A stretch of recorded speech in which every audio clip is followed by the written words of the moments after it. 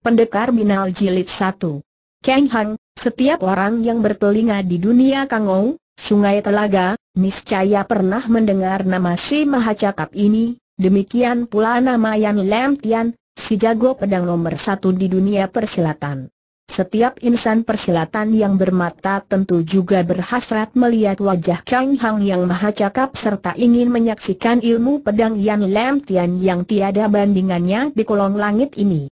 Setiap orang pun tahu bahwa tiada seorang pun gadis di dunia ini yang sanggup menahan senyuman Kang Hang dan juga tiada jago silat yang mampu melawan pedang sakti Yan Lam Tian.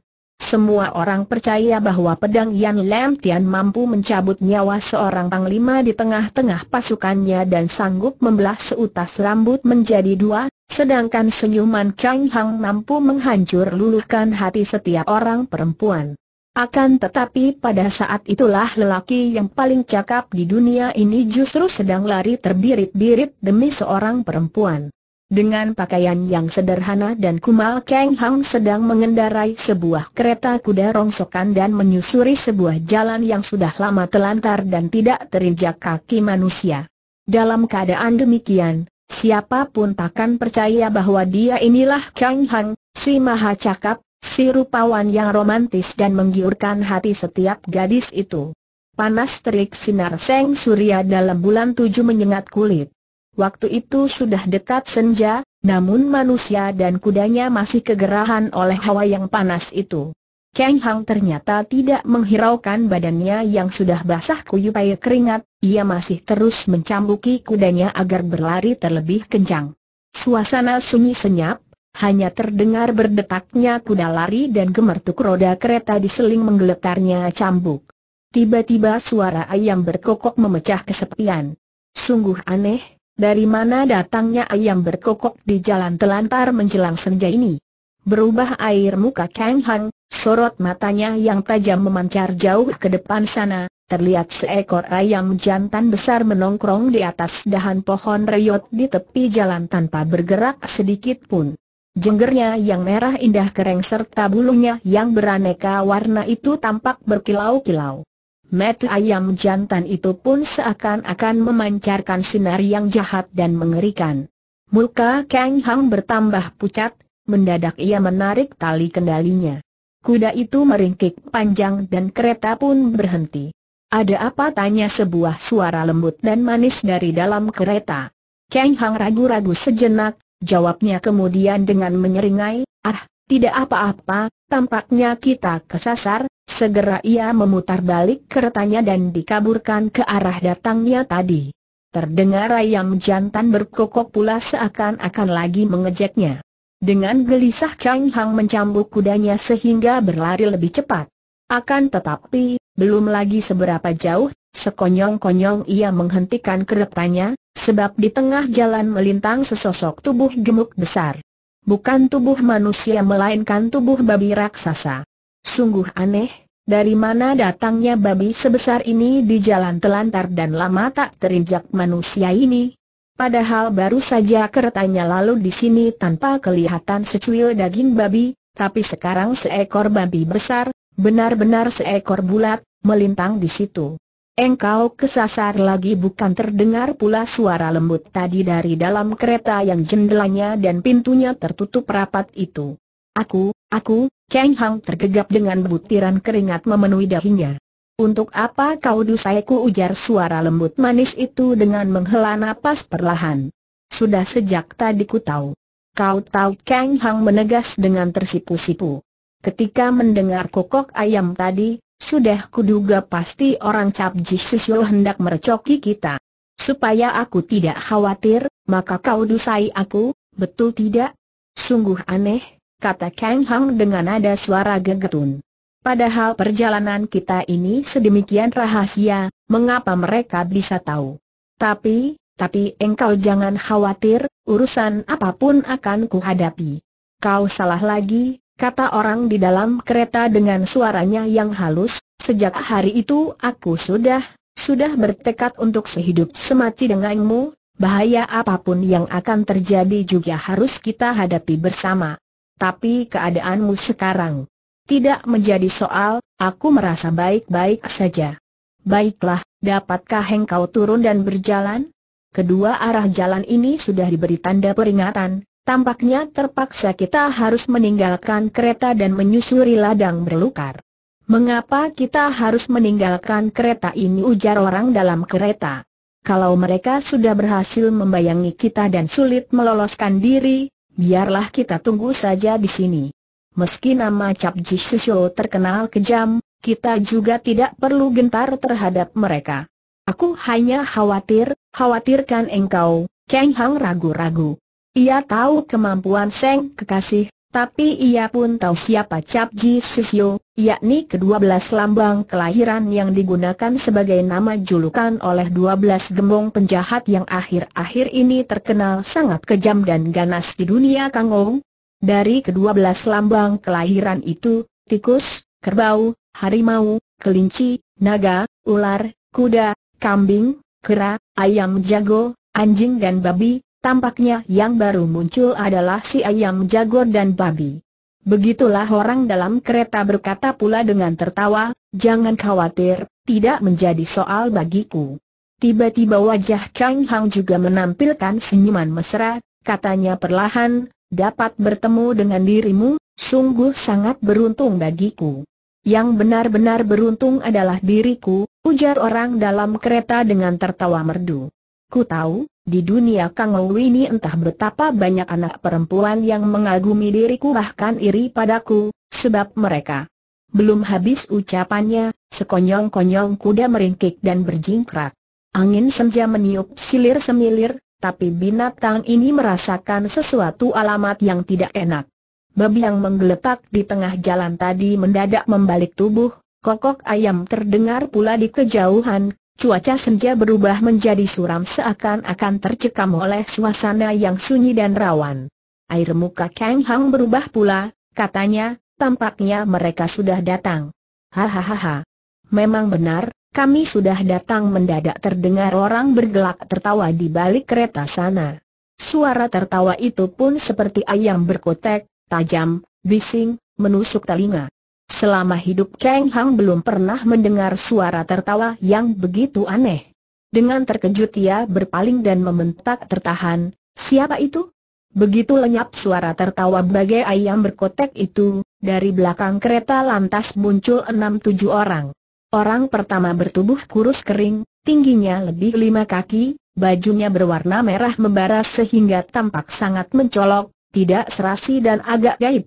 Orang kedua bertubuh jangkung, tingginya lebih dua meter, baju kuning dan kopiah kuning, muka penuh benjolan daging lebih dan tanpa emosi. Menyusul adalah empat orang dengan dandanan yang lebih aneh, Pakaian mereka terbuat dari potongan-potongan kain yang berwarna-warni sehingga mirip baju pengemis kaya di panggung sandiwara. Wajah dan perawakan keempat orang ini tidak sama, tapi tampak bengis dan tangkas, gerak-gerik pun seragam mirip orang berbaris. Rada jauh di belakang sana mengikut pula seorang gemuk, begitu gemuk sehingga kulit daging bagian pipi dan perut seakan-akan kedodoran bergelantungan, berat badan keenam orang di depannya digabung seluruhnya mungkin juga tidak lebih berat daripada bobot si gemuk.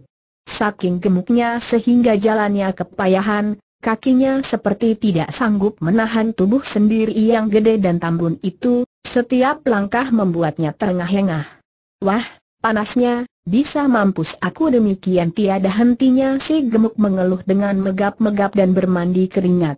Kang Hang melompat turun dari keretanya, sebisanya ia bersikap tenang dan menegur, apakah yang datang ini Susin Hek, si tamu penjaga subuh, dan Hek Bian Kun, cuan muka hitam, dari Cap Jisisho adanya. Si baju merah tadi terkekeh-kekeh, jawabnya, tajam juga pandangan Kang Kong Chu. Cuma kami ini sesungguhnya hanya seekor ayam dan seekor babi saja, sebutan Susin Hek dan Hek Bian Kun yang sedap ini adalah hadiah teman-teman Kang Ou, kami sendiri mana berani menerimanya. Dengan sorot mata, tajam Kang Hang berkata, oh, tentunya saudara ini ialah. Yang merah adalah jengger, yang kuning adalah dada dan yang belorok adalah ekor, potong si baju merah dengan tertawa. Mengenai kawan paling belakang itu, silakan kau menilai sendiri. Bentuknya mirip apa, maka itulah dia.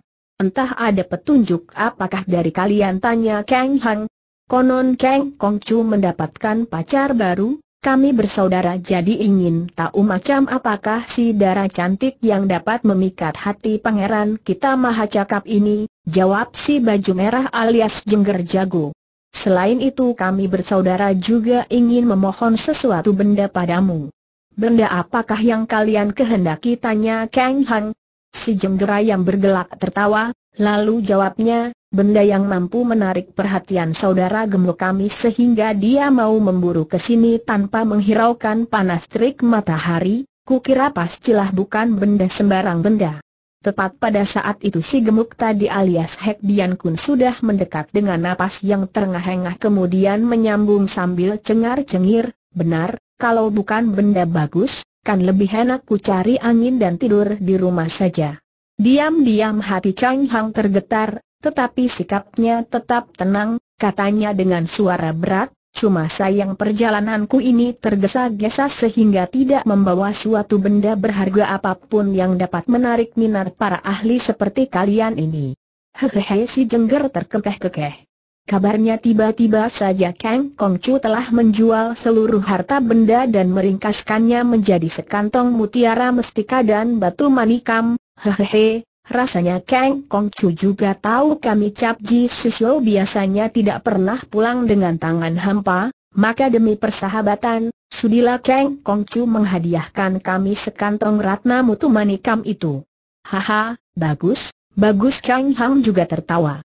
Ternyata kalian tahu sejelas itu. Ya, aku pun tahu Cap Ji Sisyo biasanya tidak suka sembarangan turun tangan, dan sekali turun tangan tidak pernah pulang dengan tangan hampa, akan tetapi, akan tetapi apa tuh kasih jengger merah? Kau menolak? Hehehe, aku sih tidak menolak, hanya, belum habis Kang Hang menjengek, tahu-tahu bayangan berkelebat, ia sudah menubruk maju. Jengger ayam itu pun tak kalah gesitnya, dalam sekejap itu tangannya sudah memegang semacam senjata berbentuk aneh, mirip paruh ayam dan serupa gancong. Secepat kilat ia menyerang, hanya sekejap saja ia melancarkan tujuh delapan kali serangan dengan gaya yang aneh seperti ayam jantan mematuk dan menyerang dengan jalu atau taji, semuanya mengincar Yatsu, titik urat darah, mematikan di tubuh Kang Hang. Rada repot juga Kang Hang, mendadak ia loncat ke atas sehingga serangan maut itu bisa dielakkan. Tapi pada saat itu empat pasang taji ayam sudah menanti pula di bawah.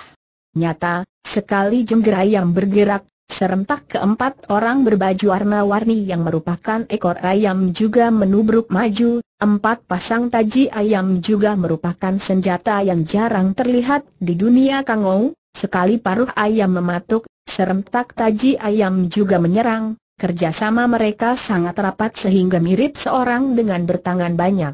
Memangnya Kang Hang sudah kewalahan, apalagi menghadapi serangan yang aneh ini, belum lagi si baju kuning yang merupakan dada mentok ayam itu masih mengawasi di samping dan sedang menunggu peluang untuk ikut menyerang. Hehehe Bian Kun, si babi hitam, terkekeh-kekeh. Ayolah saudara-saudara, tambah gas sedikit, supaya lebih kencang. Kita bukan perempuan, tidak perlu mendambakan kasih sayang anak cakap ini, Eh, permisi sebentar saudara-saudara, biar ku tengok dulu si cantik di dalam kereta itu. Berhenti bentak Kang Hang dengan murka.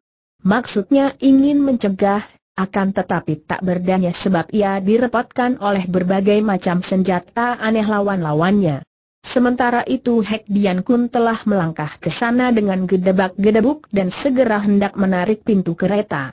Pada saat itulah mendadak jendela kereta terbuka sedikit dan terjulurlah sebuah tangan yang putih halus, di antara jari jemari yang putih mulus tanpa cacat itu terjepit setangkai bunga BWE, Sakura. Bukan bunga BWE sembarang bunga BWE tapi bunga BWE hitam. Sungguh aneh bin ajaib ada bunga BWE mekar di musim panas, apalagi bunga BWE warna hitam. Tangan yang putih, bunga BWE yang hitam, Sungguh perbedaan yang mencolok dan keindahan yang gaib dan sukar dilukiskan. Berbareng dengan terulurnya tangan dengan bunga BWE hitam itu, terdengar pula ucapan dengan nada yang manis, coba kalian lihat, apakah ini? Serentak muka Hek Dian Kun berkerut-kerut mengejang, tangannya yang hendak menarik daun pintu kereta itu pun mendadak tak bergerak lagi. Senjata paruh ayam dan taji ayam juga berhenti di tengah udara. Keenam bandit yang terkenal ganas itu mendadak seperti kena sihir, semuanya melongok aku tak berani bergerak. Siu Giokok, Ihoa Kiong hanya kedua kalimat ini tercetus dari mulut Hek Bian Kun dengan tergegap-gegap. Eh, tajam juga pandanganmu, ujar orang di dalam kereta. Cai He, hamba, gigi Hek Bian Kun gemertuk sehingga tak sanggup melanjutkan ucapannya. Kalian ingin mampus atau tidak tanya orang di dalam kereta dengan suara halus. Dengan gemetar Hek Dian Kun menjawab, hamba, hamba tidak. Kalau tidak ingin mampus, kenapa tidak lekas pergi? Baru habis ucapan ini, tanpa pamit lagi si merah, si kuning, si belorok dan si hitam, semuanya kabur secepat terbang. Langkah Hek Dian Kun sekarang tidak lamban lagi, napasnya juga tidak kempas-kempis, meski gemuk luar biasa tubuhnya, tapi kecepatan langkahnya kini melebihi siapa pun. Kalau tidak menyaksikan sendiri tentu tiada yang percaya orang segemuk itu mempunyai gerak langkah sedemikian cepat dan gesit. Kang Hang lantas mendekati jendela kereta dan bertanya dengan nada khawatir, engkau tidak, tidak apa-apa bukan? Ah tidak, Aku hanya memberi salam saja kepada mereka, ujar perempuan di dalam kereta dengan tertawa. Kang Hang menghela napas lega, katanya pula, sungguh tak terduga engkau telah membawa setangkai hek giok BWEOA, bunga BWE kemalau hitam, dari istana sana, tidak nyana bandit yang jahat seperti Cap Ji Sisho juga begitu takut pada mereka. Ya, dari itu dapatlah kau bayangkan betapa lihainya mereka, kata orang dalam kereta maka lekas kita berangkat saja, kalau tiba-tiba terdengar angin berkesyur, orang-orang yang kabur tadi kini sudah datang kembali, bahkan datangnya terlebih cepat daripada perginya tadi. Hehehe, hampir saja kami tertipu, demikianlah Hek Bian Kun terkekeh-kekeh. Apakah kalian tidak takut mati gertak Kang Hang, tapi dalam hati, sebenarnya sangat khawatir. Hehehe, jika yang berada di dalam kereta benar-benar orang dari Ihoa Kiong, mustahil tadi kami dapat kabur dengan hidup kata Hek Dian Kun, memangnya pernah kau dengar bahwa Ihoa Kiong Chu suka mengampuni jiwa orang? Tiba-tiba orang di dalam kereta menukas, sudah kuampuni kalian, mengapa kalian malah? Barang tiruan, ayolah keluar sini bentak Hek Dian Kun, mendadak ia melompat maju, sekali hantam, pintu kereta ditonjoknya hingga ambrol. Yang duduk dalam kereta memang seorang perempuan, perempuan muda dengan rambut kusut dan wajah pucat seperti orang sakit, walaupun demikian sama sekali tidak mengurangi cantiknya yang mempesona. Sebenarnya sepasang mata perempuan ini juga tidak begitu jeli, hidungnya juga tidak terlalu mancung, mulutnya juga tidak sangat mungil, namun gabungan dari metu hidung mulut dengan raut mukanya itu sedemikian serasinya sehingga setiap orang yang memandangnya pasti ingin memandang untuk seterusnya, terutama sorot matanya yang penuh mengandung perasaan, pengertian dan kecerdasan yang sukar diukur. Di luar dari semua itu, ternyata perut perempuan itu membuncit besar, kiranya sedang hamil tua. Melihat itu, melengak juga Hek Dian Kun, tapi segera ia tertawa terbahak-bahak dan berkata, hahaha. Kiranya seorang perempuan bunting, berani lagi mengaku orang Ihoa Kiong. Belum habis ucapannya, sekonyong-konyong perempuan bunting itu melayang keluar, belum lagi Hek Dian Kun menyadari apa yang terjadi, tahu-tahu ia sudah kena ditempeleng beberapa kali. Setelah melayang kembali ke tempat duduknya, Perempuan muda itu bertanya dengan tersenyum, memangnya kenapa kalau perempuan bunting? Hektometer, main sergap, terhitung apa teriak Hek Bian Kun dengan geram dan penasaran, segera ia menghantam pula. Meski tubuhnya gemuk seperti gajah bengkak, tapi pukulannya ini sungguh cepat, keras lagi ganas. Namun perempuan muda itu tetap mengulum senyum, tangannya yang halus itu menyampuk perlahan, Entah dengan care bagaimana, tahu-tahu pukulan Hek Bian Kun itu tertolak kembali dan belang, dengan tepat menghantam pada pundak sendiri. Dengan jelas Hek Bian Kun melihat kepalan sendiri menghantam pundak sendiri, tapi ia justru tidak mampu mengerem dan juga tidak dapat menghindar. Betapa hebat tenaga Hek Bian Kun dapat dibayangkan ketika sekali tonjok menghancurkan pintu kereta tadi, maka pukulan yang mengenai pundak sendiri ini membuatnya mengerang kesakitan dan jatuh terkapar. Kawan-kawannya, yaitu si Jengger dan si ekor ayam sebenarnya juga sudah bersiap-siap ingin menerjang maju, tapi mereka jadi melongo menyaksikan kawan gemuk mereka itu terjungkal dan karena itu mereka pun tidak berani bergerak lagi. Nah, apakah kalian kenal gerak tangan yang kugunakan ini? Tanya perempuan muda itu dengan tertawa sambil mengerling lawan-lawannya. Dengan suara gemetar Hek Bian Kun berseru, Ihoa Ciap Giok, mencangkok bunga menyambung kemala, setan malaikat sukar menandinginya. Jika sudah tahu, tentunya sekarang kalian percaya aku ini bukan barang tiruan, ucap perempuan muda itu. Ya, hamba, hamba pantas mam, Mampus, sungguh pantas mampus segera Hek Bian Kun menampar muka sendiri hingga belasan kali, mukanya yang hitam mirip moncong babi seketika bertambah bengkak. Ai, betapapun aku harus berbuat bajik demi anakku, kata perempuan muda itu dengan menghela napas. Baiklah, kalian, kalian boleh pergi.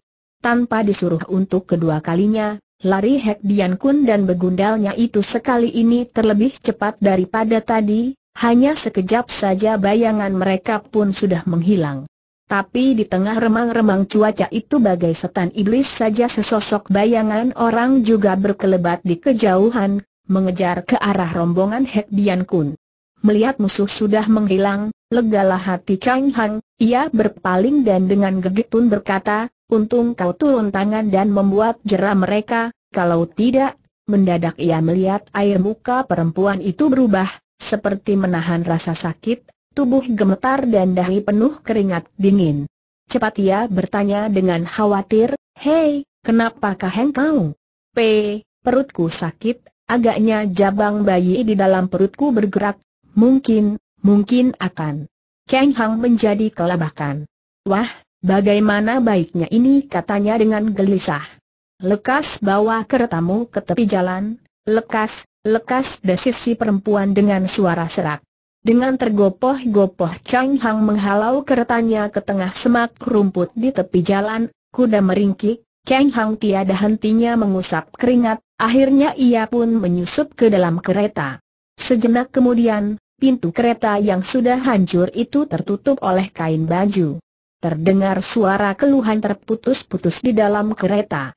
Kakak Hang, sungguh aku takut, takut sekali. Tidak perlu takut, tabahkan hatimu, sebentar lagi semuanya akan beres.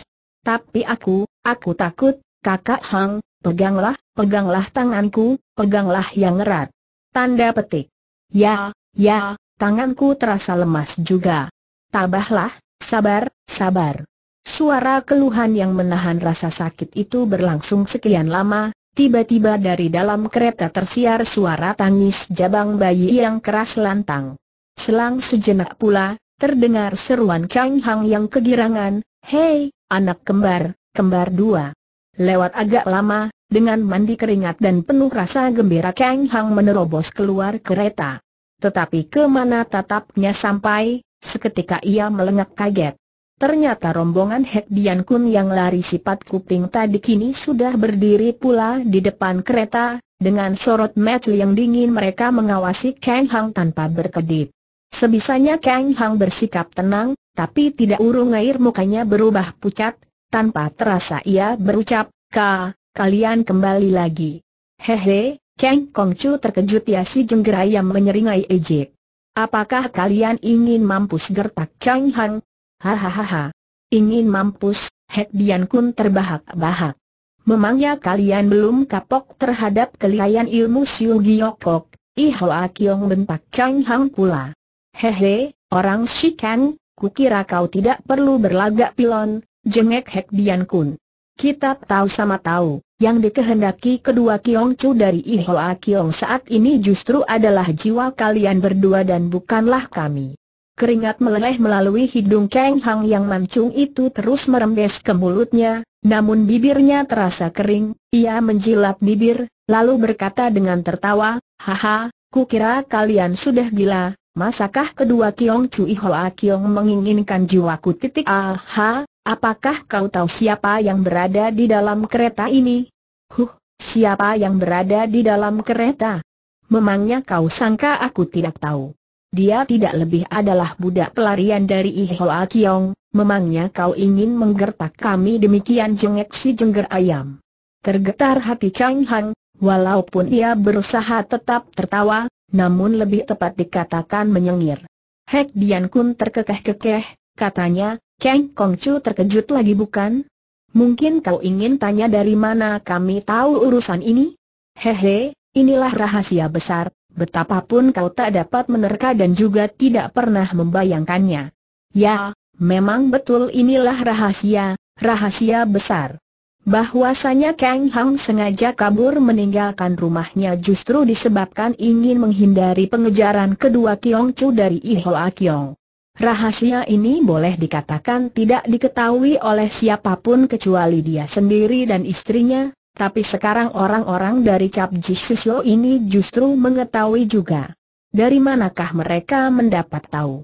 Sungguh Kang Hang tidak habis mengerti, tapi ia pun tidak mau memikirkannya lagi, wanita yang baru melahirkan itu sedang merintih, si jabang bayi sedang menangis, tapi di sekitar kereta ini berjajar kawanan bandit yang sudah biasa membunuh orang tanpa berkedip. Secepat kilat Kang Hang menerjang maju, namun sinar golok lantas berkelebat, ia sudah diadang oleh si baju kuning, si dada ayam. Sepasang golok menyerupai sayap ayam tipis laksana kertas, tapi buatan dari baja murni, tajamnya tidak kepalang, dalam sekejap saja tubuh Kang Hang sudah terkurung di tengah cahaya golok. Kang Hang tidak gentar, sebaliknya malah menerjang, ia menyelinap kian kemari di tengah jaringan sinar golok lawan, secepat kilat ia sambar pergelangan tangan si baju kuning, sekali tarik dan puntir, sebuah golok musuh sudah dirampasnya. Menyusul sebelah kakinya menendang perut si baju kuning, sedangkan golok rampasan menebas ke belakang untuk menangkis serangan si jengger ayam, menyusul mana tubuhnya menerobos ke sana di bawah cakar ayam, sekaligus goloknya terus membacok Hek Bian Kun. Beberapa gerak serangan itu dilakukannya dengan cepat, ganas, tepat dan berbahaya pula, senjata-senjata musuh hampir semuanya menyerempet lewat bajunya. Meski Hek Bian Kun sempat mengelakkan bacokan Kang Hang, tidak urung ia pun kaget hingga berkeringat dingin, cepat ia balas menyerang sambil memperingatkan kawan-kawannya, awas, bocah ini sudah nekat. Apabila seseorang sudah nekat, sepuluh orang pun repot menghadapinya. Hal ini cukup diketahui kawanan bandit itu. Maka mereka tidak berani menghadapi Kang Hang secara berhadapan, mereka terus menggeser kian kemari untuk mengulur waktu. Serangan Kang Hang semakin kalap, tapi selalu mengenai tempat kosong. Hek Dian Kun terus-menerus tertawa mengejek. Si baju kuning meski sudah kehilangan sebuah goloknya, tapi golok yang masih ada itu terkadang juga melancarkan serangan maut. Empat pasang taji ayam juga bekerja sama dengan rapat, serangannya gencar sukar diduga dan membuat Kang Hang mati kutu. Belum lagi si baju merah, si jengger ayam, ia menyelinap kian kemari dan mematuk dengan paruh baja yang lihai. Rambut Kang Hang sudah semrawut, suaranya serak, demi membela jiwa kekasihnya, si mahacakap ini kini tampaknya sudah menyerupai binatang gila. Percuma dia bertempur mati-matian, singa yang sudah masuk perangkap, sekalipun mengadu jiwa juga sudah tiada gunanya. Senja semakin remang, suasana semakin tegang. Pertarungan sengit ini sungguh menggetar Sukma, juga mengerikan. Kang Hang sudah mandi darah bercampur keringat, imbalannya adalah tertawa ejek yang menggila dari pihak musuh. Kakak Hang, hati-hatilah, demikian terdengar rintihan dari dalam kereta. Asalkan engkau sabar, mereka pasti bukan tandinganmu. Mendadak Hek Dian Kun melompat ke sana, sekaligus ia tarik dirai kereta. Untuk sejenak ia melengak, tapi segera ia tertawa menyeringai, aha, besar juga rezeki anak keparat ini. Ternyata melahirkan kembar dua. Minggir, bangsat teriak Kang Hang dengan suara parau. Dengan kalap ia menerjang maju, tapi sekali sampuk ia tertolak mundur. Dengan nekat ia menubruk maju pula, kembali didesak mundur dan begitulah hingga terjadi beberapa kali dan tetap tidak berhasil tercapai maksudnya. Metu Kang Hang sudah merah beringas. Dalam pada itu sebelah kaki Het Bian Kun sudah naik ke undakan kereta sambil cengar-cengir. Bangsat teriak si wanita dengan suara serak sambil merangkul kencang kedua anak bayinya. Kau, kau berani. Hehehe Het Bian Kun terkekeh-kekeh. Manisku, jangan khawatir, takkan ku ganggu kau. Hehe, nanti kalau kau sudah sehat, malahan aku ingin, ingin, Hahaha. Bangsat, teriak Kang Hang murka. Jika kau berani menyentuhnya. Mendadak Hek Bian Kun mencolek pipi perempuan cantik yang baru melahirkan itu dan mendengus, Hektometer, ini, sudah kusentuh dia, kau mau apa? Kang Hang menggerung kalap dan menerjang pula, tapi karena cemasnya, permainan goloknya menjadi kacau, serentak senjata musuh yang beraneka ragam itu menghujani tubuhnya, pundak, dada, punggung, seketika terluka dan mengucurkan darah. Hati-hati, kakak Hang dengan suara gemetar si perempuan berpesan pula. Hehe, kakak Hangmu segera akan berubah menjadi setan eje, Hek Bian Kun dengan tertawa. Dengan berlumuran darah Kang Hang berteriak kalap, biarpun menjadi setan takkan kuampuni kalian. Suara teriakan kalap bercampur dengan suara gembira dan jeritan ngeri diseling pula tangisan bayi. Suasana yang menyayat hati itu sekalipun manusia berhati baja juga pasti akan luluh. Darah sudah memenuhi muka dan tubuh Kang Hang, keadaannya sudah payah. Mendadak perempuan dalam kereta berteriak histeris, biar kuadu jiwa denganmu mendadak ia meninggalkan bayinya terus menubruk ke arah Hak Bian Kun, sepuluh jarinya terus mencengkeram leher lawan. Akan tetapi sekali tangkis segera perempuan itu ditolak balik ke dalam kereta. Dengan terkekehak Bian Kun berkata, Hehehe, manisku, ke mana perginya kelihayanmu tadi? Hehehe, perempuan, perempuan yang harus dikasihani, sebab apakah kalian harus melahirkan anak? Belum habis ucapannya, sekonyong-konyong perempuan itu telah merangkulnya dengan nekat, mulutnya terus menggigit tenggorokan lawan. Keruan Hek Bian Kun mengerang kesakitan dan darah pun mengucur. Itulah darah yang jahat, darah berbau busuk, tapi darah yang berbau anjir itu membuat si perempuan merasa puas, puas karena berhasil membalas sakit hatinya. Saking sakitnya Hek Bian Kun terus menonjok dengan kepala dan kontan tubuh perempuan itu mencelat, menumbuk kereta dan jatuh terkapar tak sanggup bangun lagi. Walaupun begitu bagaimana rasa darah musuhnya sudah berhasil dicicipinya. Kakak Hang, dengan suara lemah ia berseru dengan terputus-putus, lekas larilah, lekas, jangan, jangan menghiraukan kami. Asalkan aku sudah mati, kedua kakak beradik Yong Chu tentu takkan, takkan membuat susah padamu. Tidak, engkau takkan mati, adindaku teriak Kang Hang. Ia berusaha menerjang maju lagi, ia tidak ambil pusing akan beraneka macam senjata musuh yang menghujani tubuhnya itu. Tubuhnya telah terkoyak-koyak, darah daging berhamburan. Tapi dia masih terus berusaha menerjang maju. Namun sebelum tiba di depan sang istri ia sudah jatuh terguling.